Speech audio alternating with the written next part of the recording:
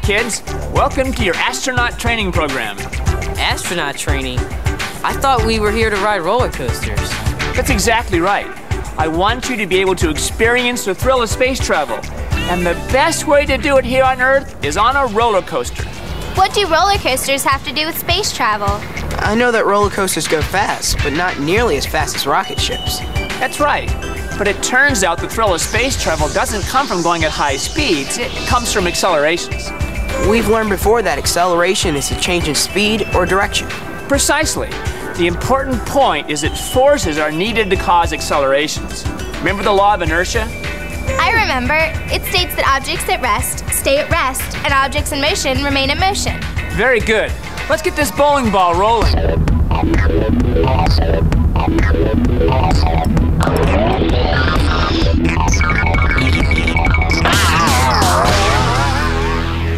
What if I hit it from the side?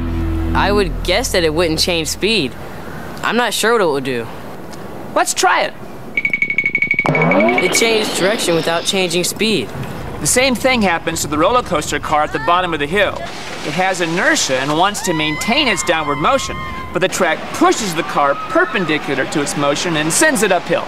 What does the push of the track do to the passengers? It makes them feel heavy. The faster the coaster is going or the tighter the turn, the heavier they will feel. How heavy will you feel on a roller coaster? Here on the Alpengeist, you feel about four times heavier than normal at the bottom of a couple of the hills.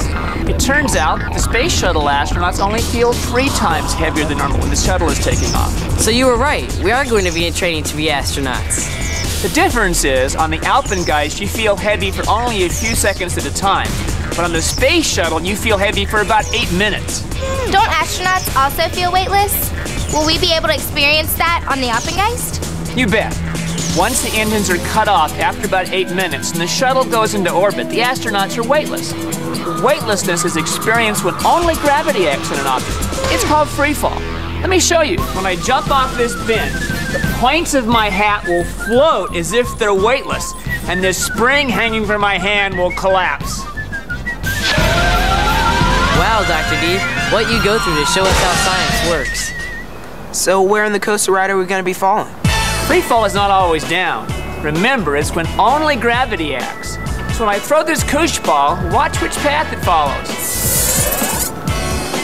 I've seen that before with the vomit comet when we were learning about habitats. I think it's called a parabola. Very good. The coaster goes over a parabolic hill and twists at the same time. For a few seconds, you're weightless. This is going to be exciting. Can we go on the ride now? One more thing. You can tell how heavy you feel by watching this accelerometer. When you feel three times as heavy as normal, this mass will be pulled onto this point right here. Einstein told us that being heavy on a roller coaster and being heavy on a big planet are the same thing. So I guess we're preparing for both space travel and visiting an alien planet. Let's go on the ride. I'm ready to be an astronaut.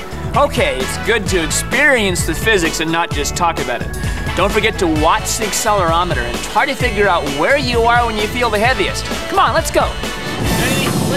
Here we go.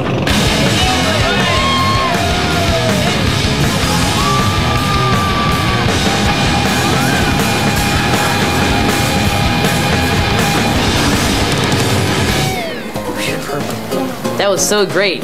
I felt heavy at the bottom of the hills. I noticed the accelerometer read more than three a number of times, but I lost count. I noticed I felt weightless a few times. I had no idea where I was on the ride, but it was exciting. Thanks, Dr. D. Now we have some practical space travel experience. You're welcome. You'll be great astronauts. Oh, I've got to run. See you later. Bye, Dr. D. Bye. Thanks.